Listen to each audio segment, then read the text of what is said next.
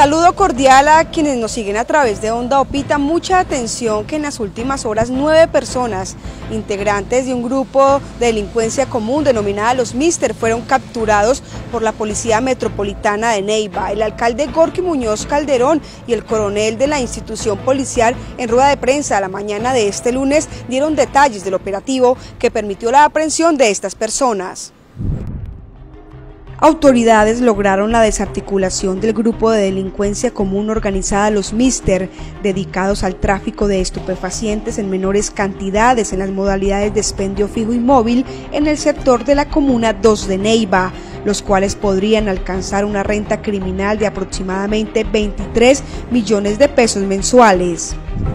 Para poder despertar esta estructura eh, delincuencial se adelantan unas labores de investigación como cuáles agentes encubiertos, eh, vigilancias y seguimientos, interceptaciones, eh, allanamientos y registros y lo más importante, la misma información de la ciudadanía.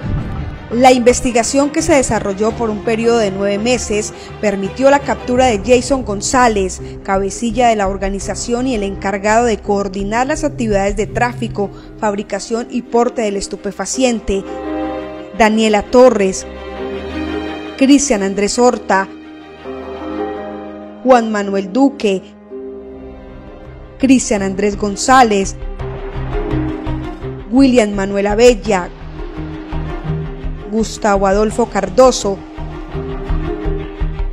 Giancarlos Valenzuela y Dovis Adrián Prada, quienes eran los encargados de la venta del estupefaciente en viviendas y vía pública. Es una lucha contra la delincuencia y la inseguridad en Neiva que declaramos desde el inicio de nuestro mandato. En total registran 19 anotaciones y antecedentes por porte ilegal de armas, tráfico de, estupefacientes, hurto calificado y agravado, acto sexual, renta mensual por aproximadamente 23 millones de pesos.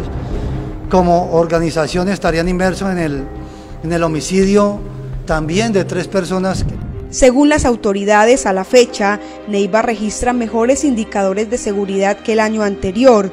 Los drones con los que contará el municipio se utilizarían en diferentes escenarios con el objetivo de proteger la integridad de los neivanos.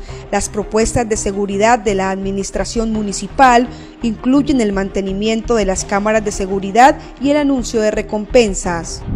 El mandatario de los neivanos y el alto oficial reconocieron ese trabajo también importante que hace la ciudadanía e invitaron nuevamente a los neivanos para que denuncien cualquier hecho delictivo que ocurra en su sector. Con la cámara de Junior Puentes informa Jennifer Osorio para Onda Opita.